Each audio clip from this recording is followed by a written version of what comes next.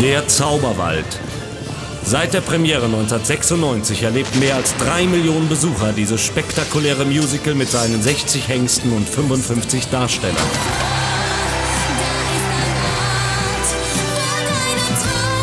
Musik, Story und Co-Regie stammen ebenso von Christian Hein wie die faszinierenden 3D-Hintergrundbilder dieser zwei Stunden Show.